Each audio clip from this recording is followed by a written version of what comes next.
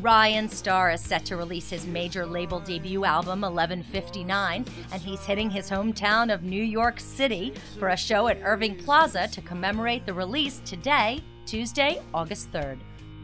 The song Breathe is currently number 15 at Hot AC Radio, and he's starting to break through to the mainstream with force. For the success of the tune, Star may have Yoda of Star Wars to thank. On my refrigerator, I actually have a, a Yoda doll that uh, sits sits atop the fridge, and uh, you hit the button, and, it, and, and, he, and he gives you Yodaisms. All you know, the force is strong in this one. It is, you know, that kind of thing. And then uh, on top of that, I have a. It's a very powerful thing because uh, when my song "Breathe" started charting on the radio charts, people called me up and they said, "You should really pop champagne open. This is a big deal. This is kind of the start."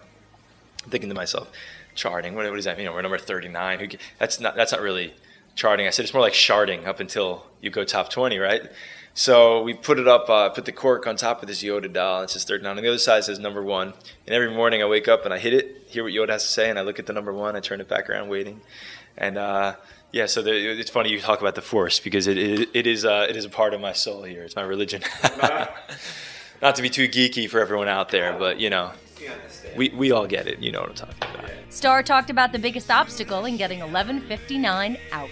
Obstacle. That's a good way of looking at it. I could I, I look at the last four years of my life, and it seems like one of those American Gladiator things. And like just at the end, when you're ready, you think you're ready. Those guys are like right behind. You got to choose the right right pathway. You know. Nitro. Oh no. Uh, man, every step of the way, man. It's just it's just life, right? I mean, it's not like anything new. Nothing I'm gonna say as a musician is gonna you know, be any different than anybody else living.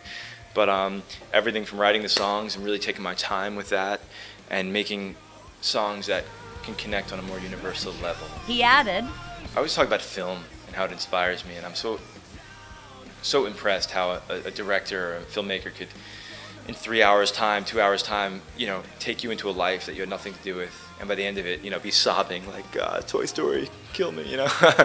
uh, and I think that that's powerful. And like what they're doing in that much time, I need to do in, in, in, in three minutes, you know, in a, in a, in a pop song. So um, I take a lot of notes from how they do that. And this record specifically is kind of like a movie. There's so much imagery in there, and there's so much, uh, there's just so much, so many words that create feeling and taste and color that I'm, I'm, I'm really proud of it. And you know, this whole collection, 1159, really, really has that weight to it that I'm really proud of. And that was on the writing end. And then there's the getting out there tour and pr- produce and all you know all the millions of things you could imagine. But the fact is, the album's out and it's exciting and it's my little baby, and I'm gonna throw it right out of the nest and hopefully watch it fly. You know.